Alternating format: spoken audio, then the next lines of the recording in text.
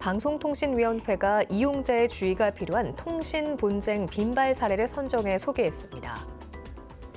방통위에 따르면 올해 분쟁 조정 신청은 지난해와 비교해 30% 넘게 늘었으며 특히 명의 도용과 스미싱 피해, 유선 서비스 부당 계약과 관련된 분쟁 조정 신청이 대폭 증가한 것으로 나타났습니다. 또 단말기 값을 거짓으로 고지해 휴대전화 개통을 유도하는 사례가 전체의 절반을 차지하며 가장 많았다며 휴대전화 판매 사기 예방을 위해서는 계약 체결 시 통신사 공식 계약서를 이용해야 한다고 당부했습니다.